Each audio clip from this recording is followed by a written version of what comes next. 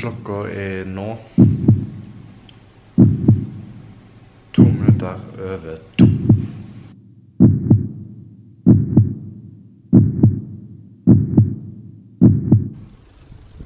Til på fødestue 1 med hun her som har begynt å få rier og to centimeter åpning.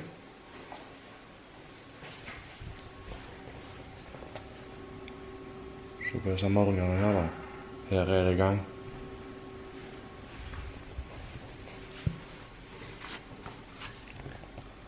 Oppdater dere senere.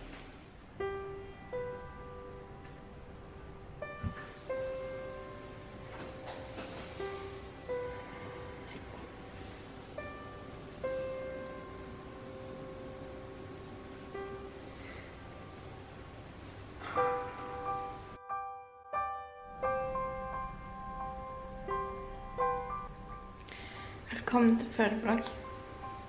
Fødeblogg. Um, ja. Tidligere i dag så ble jeg innlagt pga. svangerskapsforgiftning. Som de fulgte ganske godt med på. Uh, men uh, tydeligvis så liker ikke Oliver å være i denne kroppen når blodtrykket er så høyt, eller vet ikke jeg hva som er grunnen. Men poenget er iallfall at uh, han bestemte seg for at eh, nå vil den ut. Så i Jeg vet ikke hva klokka var. jeg. Eh, jo, klokka 11 fikk jeg blodtryksmedisin blodtrykksmedisin og Paracet fordi blodtrykket var veldig høyt. Og halvannen time senere Vent, der kan vi rie. Ja.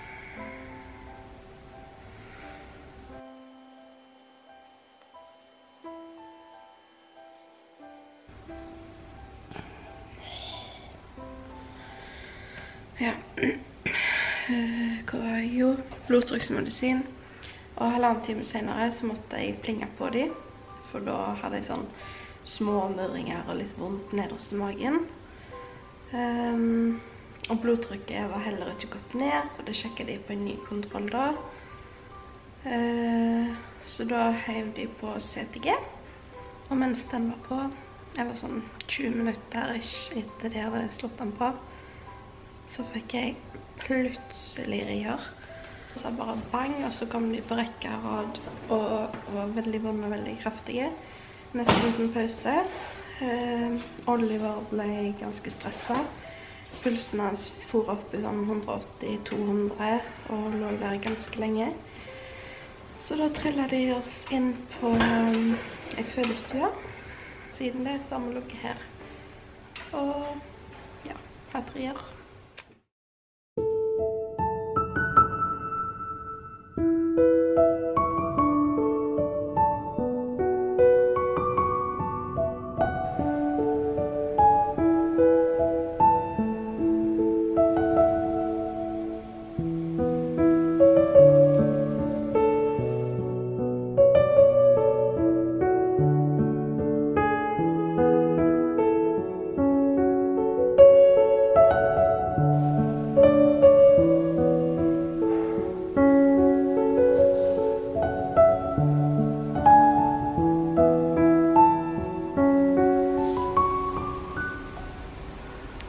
Formen er ikke på topp, og smertene er der ennå. Har vel ikke fått seg pause egentlig siden klokka var en To på morgenen i natt.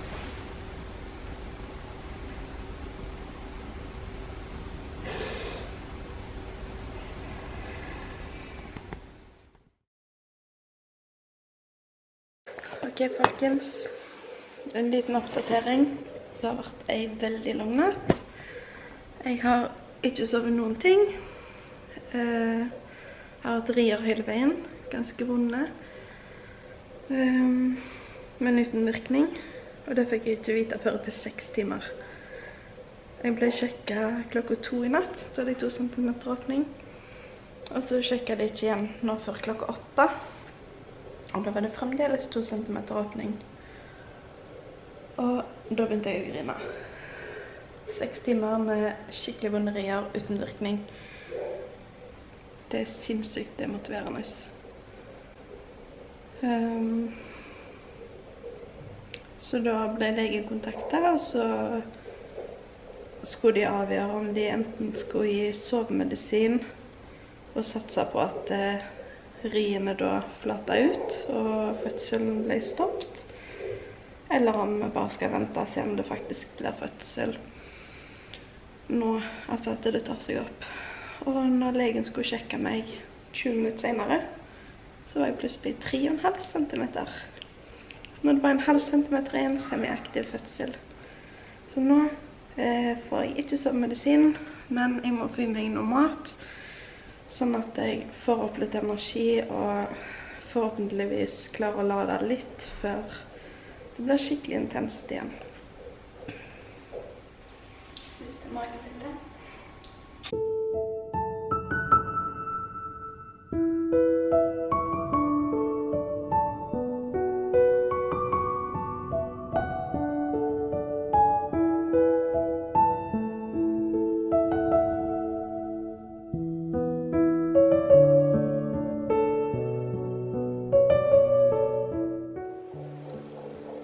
Da stresser over veldig mye, så har de valgt å prøve å ta vannet på Mon Therese her. Vi fikk det ikke til nå på første forsøk, og ikke fikk det til å feste elektroder på han heller. Eh, De gikk bare rett av. Så de sa de skulle prøve gjennom en time nå. I mellomtida så har de også satt opp belter til det. For å roe han ned nå. Det ser ikke ut som at han klarer å roe seg helt, altså. Kan vi se hva som skjer videre?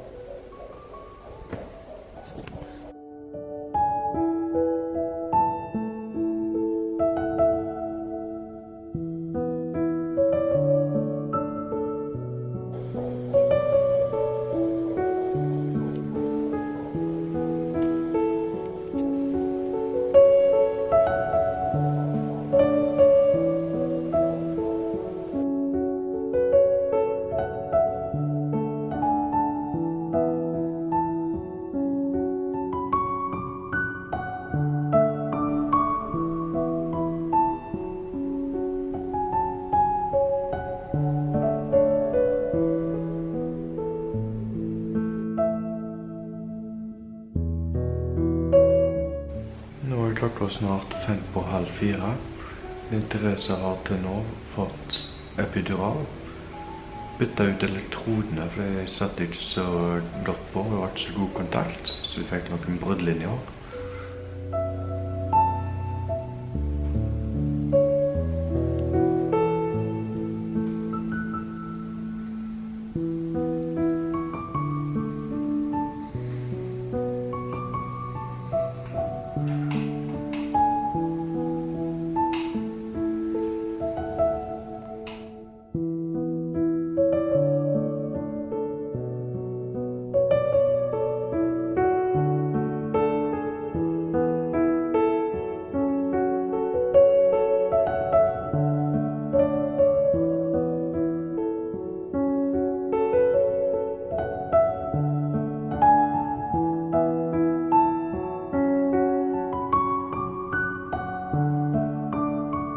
了。